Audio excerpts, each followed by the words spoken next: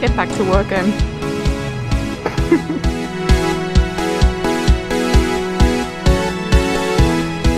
Fail. Fail.